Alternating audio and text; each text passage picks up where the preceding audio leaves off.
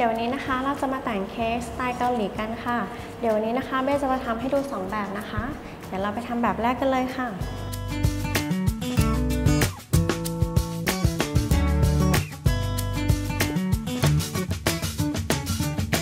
เดี๋ยวเราจะใช้ไม้จิ้มฟันนะคะล่างโครงค่ะ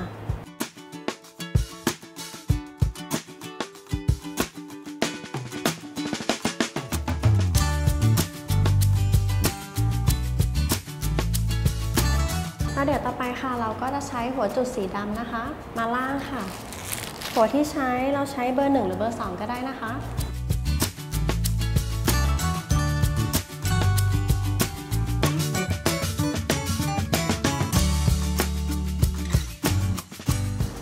แล้วเดี๋ยวเราก็จะใช้สีแดงค่ะ ตัดใต้ถุงนะคะ หรือว่าเราจะใช้หัวเบอร์1หรือเบอร์2ก็ได้ค่ะ มาวาดเป็นหัวใจนะคะ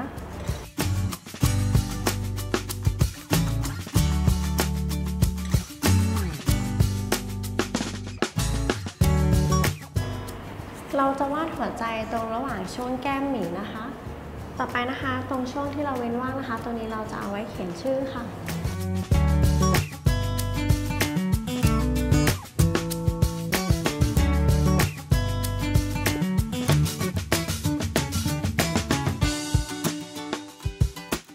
แบบแรกก็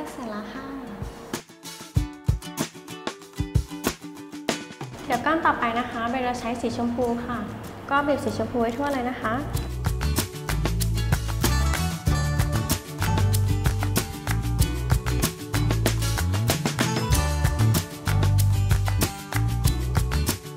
ต่อไปนะคะเวลาใช้หัวแฉกค่ะ เบอร์ 32 นะคะ เราก็จะมาบีบด้านล่างค่ะ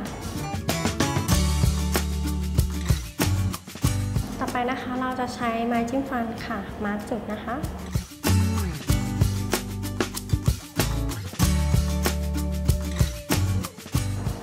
ไปค่ะเราจะใช้สีชมพูค่ะ หัวเบอร์ 27 นะคะ มาบีบชายข้างค่ะ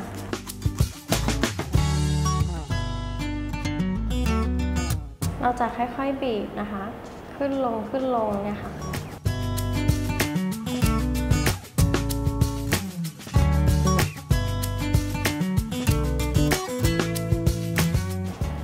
ต่อไปนะคะเบลจะใช้หัวเบอร์หนึ่งค่ะ สีขาวค่ะ เราจะมาบีบชายข้างๆนะคะ เราจะมาบีบเป็น 2 เส้นแบบนี้นะคะ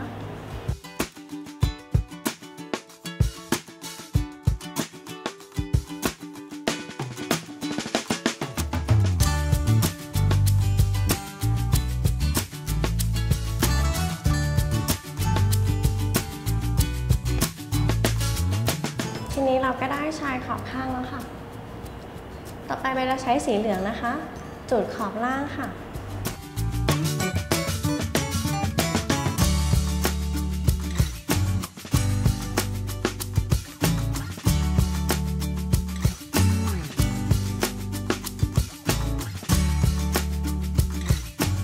ต่อไปด้านบนนะคะเวลาใช้ตัวกดคุกกี้นะคะ ที่เป็นรูปหัวใจค่ะ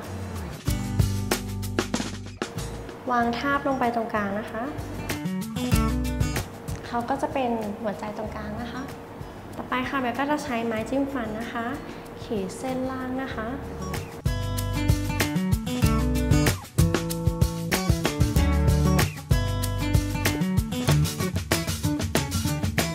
ต่อไปเราก็จะขีดลายทะแยงนะคะ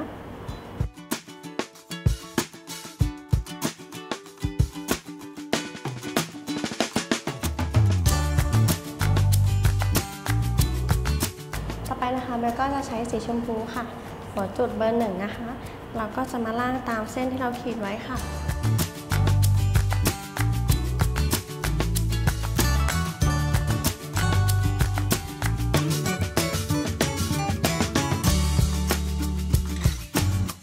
ต่อไปค่ะเบลจะใช้หัวเบอร์ 32 นะคะ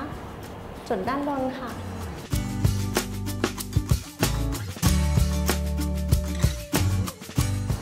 อก็จะจุดตรงหัวใจด้านในค่ะ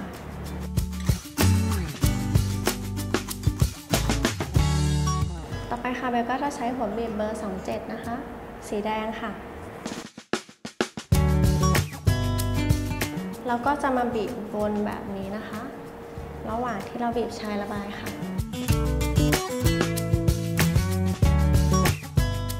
แล้วก็บีบด้านบนค่ะ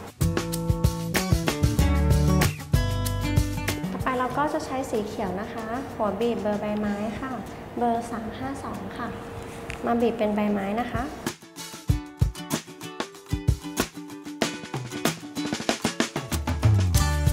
เราก็บีบใบไม้ทั้งสองด้านเลยนะคะ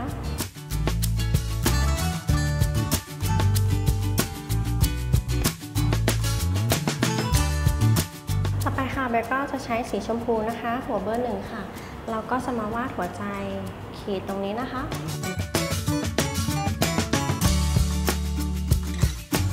แค่ของเราก็เสร็จแล้วค่ะ